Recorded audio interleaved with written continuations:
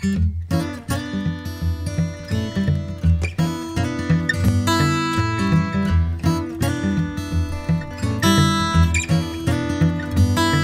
got a green tree growing in my backyard. It grows so high, seems so easy for a green tree growing in my backyard.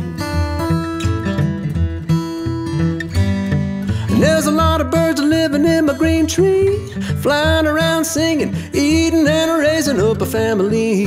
Seems so easy in a green tree.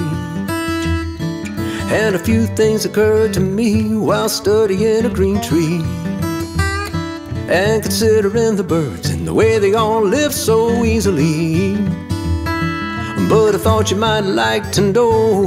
So I put it in a song just to show oh, there's a you can learn by simply meditating on a green tree growing in your backyard.